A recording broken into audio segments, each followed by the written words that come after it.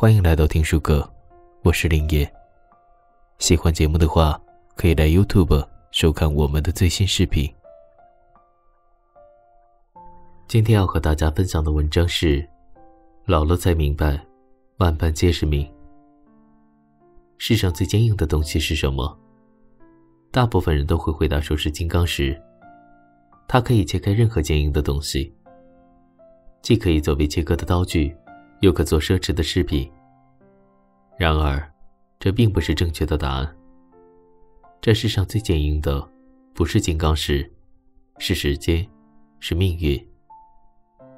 在你的生命中，该是你的一切，你无论经历怎样的艰辛，最后都能得到。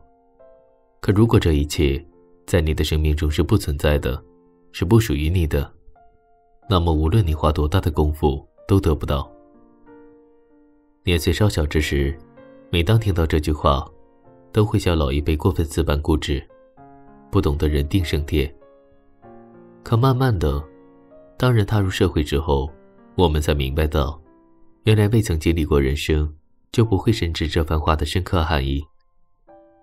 很多时候，我们总是认为。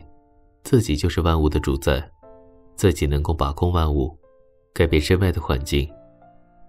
到最后，我们才发现，原来我们连自己的人生都把控不了，又何谈改变这个生活呢？很喜欢一句话：“万般皆是命，半点不由人。”你能遇到谁，碰到什么事儿，你其实不知道。就像你和谁结婚，和谁组建家庭，你能预想到吗？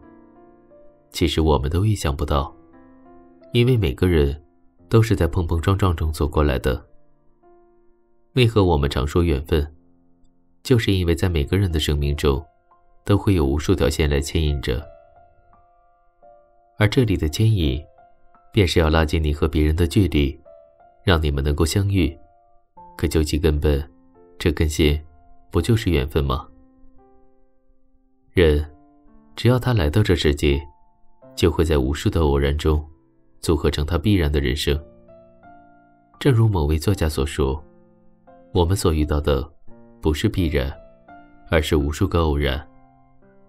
命里有时终须有，命里无时莫强求。”说起“命里有时终须有，命里无时莫强求”这番话，其实就想到了前段时间的高考。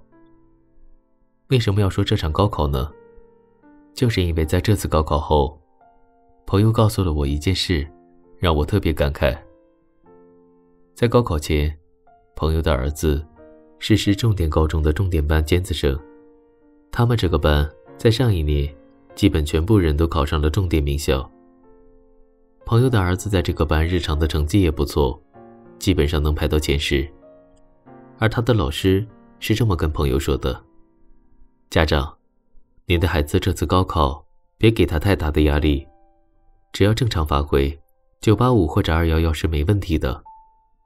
朋友听到后特别高兴，甚至好几天夜里都睡不着觉。因为朋友和妻子虽然这些年赚了不少钱，但终究不是大学生，所以感到特别遗憾。所以听到老师的话，他也就对孩子的未来充满了希望。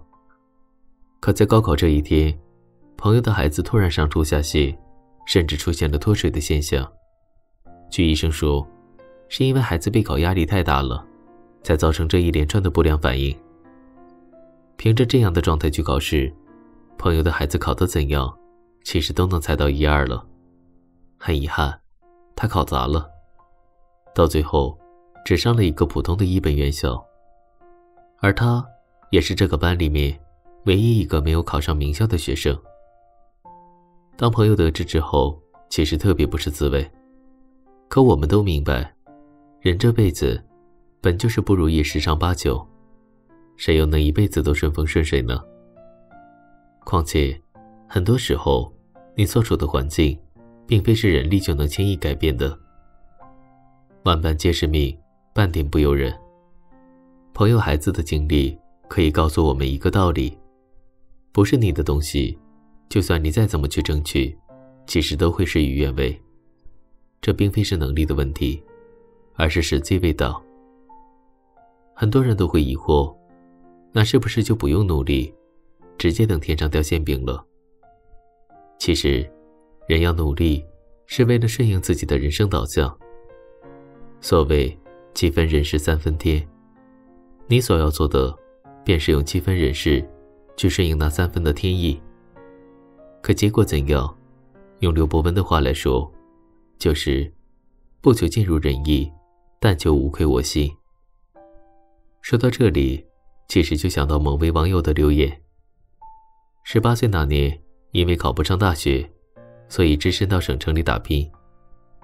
原以为十八岁的老公没人要，谁知道碰上了劳工荒，自己也就找到了工作。二十四岁那年。赚到了自己人生的第一桶金。可就是在那个时候，在机缘巧合之下，遇到了自己的爱人，也就顺理成章的成家立业。三十岁那年，因为某些原因，一个人出来创业。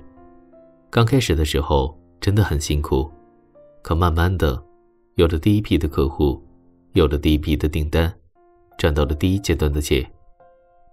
三十五岁那年。原以为自己和读书已经没有任何瓜葛了，可我的某个顾客便是大学教授。那么，在他的邀请下，我自考了本科，还想读研究生。四十岁那年，自己十八岁的梦想实现了。不仅如此，还获得了高级的文凭，比十八岁的时候强多了。四十五岁那年，虽然人到中年，可还是活力四射，因为我知道。只要人活着，就有福祸，就有悲欢，就有希望。这位网友的经历让很多人点赞。其实，我们每个人，谁没有经历过痛苦，谁没有经历过幸福呢？这个世界，有光明就会有黑暗，有悲欢就会有欣喜。这一切便是我们的命运。要知道，所有的一切。冥冥中自有安排，而我们，便是要顺其自然的接纳它，接受它，坦然面对这个不易的世界。人这辈子最大的通透，便是顺其自然。曾见过这样一句话：当他成为他人父后，才发现，我们所苦苦坚持的，都不过是自己骗自己罢了。人立身于天地之间，最大的通透是什么？便是学会顺其自然，外面变得怎样，既然你无法改变，那么你就要学会去接受它，然后顺着命运的轨迹继续往前走。说到这里，大多数人会很惊奇，这样的说法，不就是教人学会放下吗？其实，无论我们过得怎样，最终都必须放下，才能更好的开始。就像一个杯子脏了。为了不让未来的水受它的影响，变得污浊，那就放下心中的执念，把这个杯子扔掉，还自己一个干净的空间，还未来的水源以清净。正如三毛所说：“人生有如三道茶，第一道苦若人生，第二道甜若爱情，第三道淡若清风。”所以说，无论是谁，到最后，谁不是处于平淡之中呢？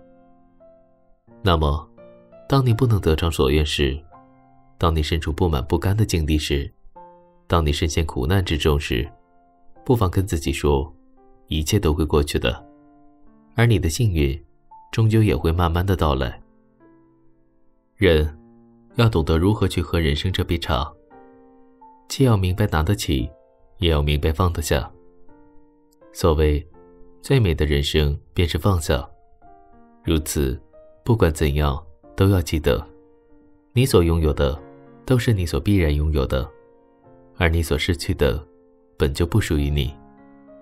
还是要说，相信上帝会有最好的安排。文章到这里就结束了。如果觉得文章还不错的话，欢迎把文章分享出去。您的每一次点赞和转发，都是我们进步的动力。世界很大，让我们在听书阁一起成长。另外，听书阁现在开设了一个新栏目“听见您的声音”，栏目会在每周三晚上八点和大家分享一些听众的情感困惑，大家可以在视频下方发表您的看法和建议。林言希望大家都能怀着最大的善意发表言论。如果您想和大家分享您的情感问题，可以发送到我们的邮箱。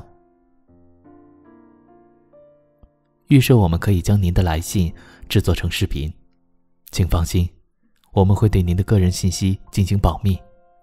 如果我们采用了您的故事，会在发布的时候回复您。您可以查看大家的评论和建议，世界会因善良而变得更加美好。